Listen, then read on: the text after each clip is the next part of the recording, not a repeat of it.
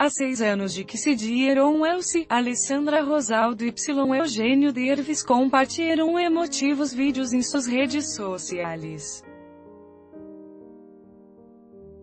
La pareja es una de las más estables del medio del espectáculo. Y cada uno em suas contas, agradeceram a seus companheiros de vida por el tempo de amistad, amor y compromisso. Em entrevista a Medios Nacionais, Eugênio Derbis confiou que revivido etapas difíceis, como quando cambiaram sua residência a Los Angeles por motivo de trabalho. La crisis foi fuerte, pero lograram superá-la y hoje celebrar a lo grande com seus hijos.